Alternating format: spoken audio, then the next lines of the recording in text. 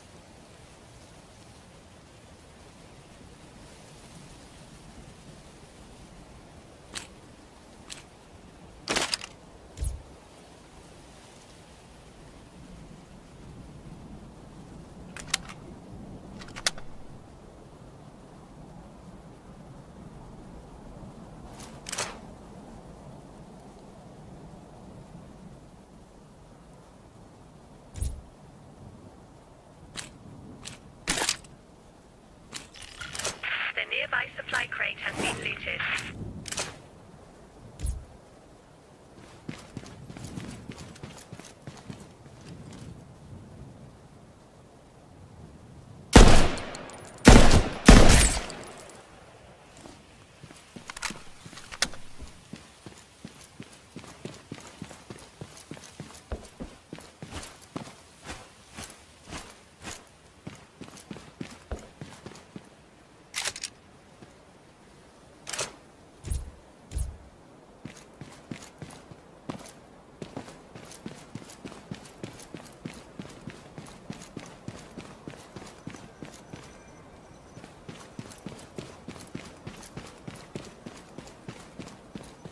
Ugh.